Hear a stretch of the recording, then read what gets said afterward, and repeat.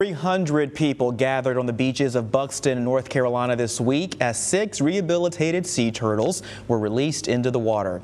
Four green turtles, one Kemp's Ridley turtle, and one loggerhead sea turtle crawled back into the ocean after recovering at the Sea Turtle Assistance and Rehab Center at the North Carolina Aquarium. The aquarium says the loggerhead, a female named Miss Piggy, received a satellite transmitter before her release, and her track will be shared on their website if they get a strong signal. The other turtles received microchip tags in their flippers to help identify them in the future. Very cool.